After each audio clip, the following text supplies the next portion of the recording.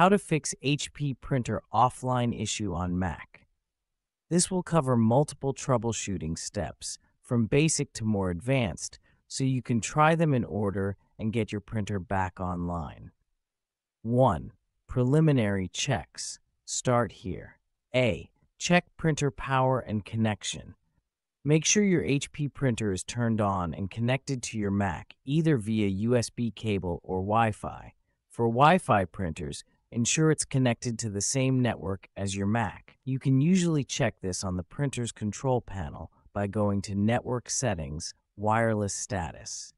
B. Restart everything. Restart your printer. Turn it off. Wait for 30 seconds and turn it back on. Restart your Mac. If using Wi-Fi, restart your Wi-Fi router as well.